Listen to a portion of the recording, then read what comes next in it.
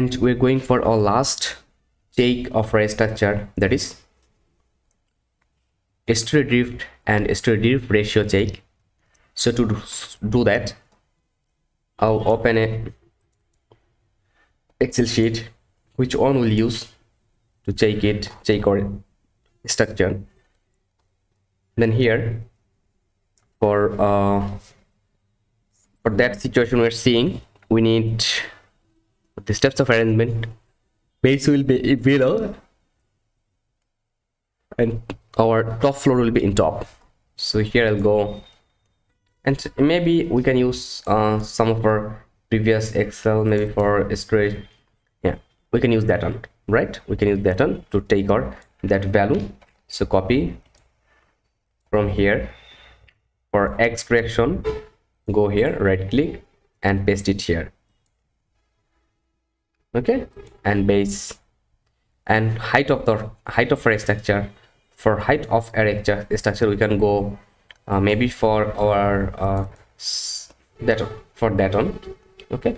So from gf s3 on s3 2 but uh, here we need in the value in meter. But we need to uh, rotate that. So to do that i can go here right click. And i can click here in tabulating form. Okay uh, no need to take data from here. I'm just closing that one so it's okay. We have taken our that s3 um, value. Then we have to take our s3 height in meter. So what will do to do that? I'll go to our software.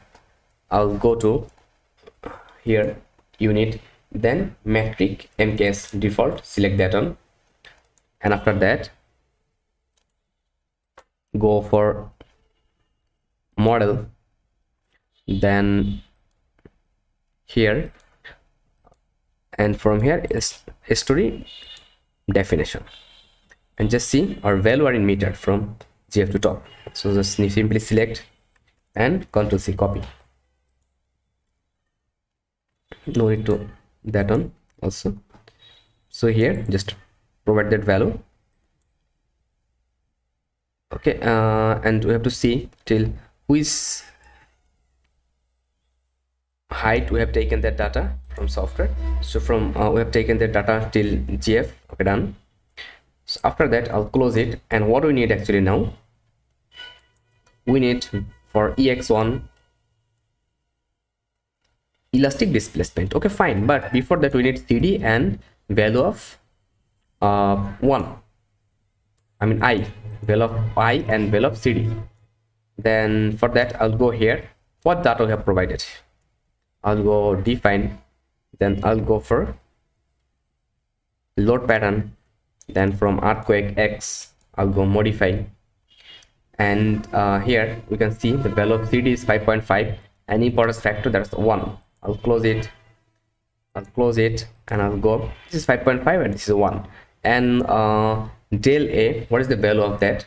Just come here and see here the factor. We have to select that factor. So i'm considering our structure i mean our structure are in occupancy category 1 and 2 and for all other structures i'm selecting that. So 0 0.02 i'll select here 0 0.02 okay done. For uh, 0 0.02 here also 0 0.02 for y direction ey1 and everything is okay. That's maybe 5.5 and here also 5.5 done now we need then elastic displacement value of elastic displacement. To do that we have to go softer. Then same way just we need the value of displacement analysis. Then joint output displacement. And here the story max or average displacement. Already have taken that data. Just right click show in table and same way we have to go for eqx then step number. As we have taken previous value for step number one. So here i'll check for everyone but we'll take for step number one. Okay. Then uh, everything is okay. And from base to top this is also okay. So here the maximum displacement we're seeing the value of maximum maximum displacement. So if we take that it will be okay. Or you can take average but no need to take average just will take maximum. Control c. We'll go here and we'll paste it here as a value. Just see we have done it. Uh,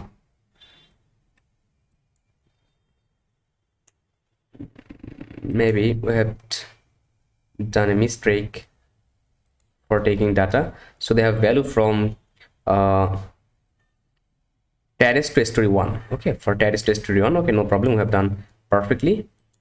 So this is the value for terrace to story 1 for gf they have no uh, I mean, they have no displacement because we, we didn't provide any uh, diaphragm there and no need to change check for that one actually.